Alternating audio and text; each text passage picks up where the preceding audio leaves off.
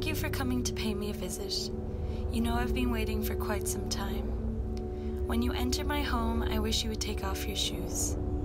In turn, I will attempt to make my words deliberate and take off the shoes of my voice. I was a trophy of war, you see. Once a symbol of peace and serenity, history has exposed my alter ego. I have shape-shifted into a memento of the celebration of my country's ruin. It is hard not to think of myself as some ill-intended spectacle for your consumption. Eyes that gorge me up and spit me out, I remain the ultimate witness to cognitive dissonance.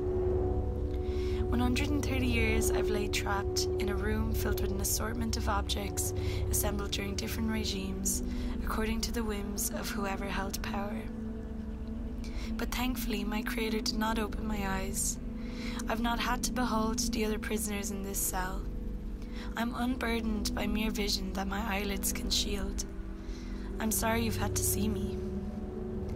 The role of the senses has been neglected here. I'm behind a cage of glass, a fortress to stop you from touching my cool marble skin. No one to smell the desperation of the dust that clings to my every crevice. They are punishing me for their own institutional angst of losing relevance and the realization that there is nothing left of me to extract. Their entire ideology might collapse at the very mention of my escape, but I have been neutered. Selective narratives start to resemble definitive histories that I find myself beginning to believe. Webs of coloniality intertwined with our era, the only thing separating us being a slight amnesia of our shared history.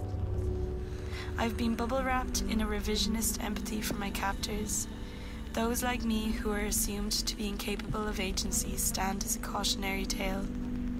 But modernity will be haunted by our ghosts.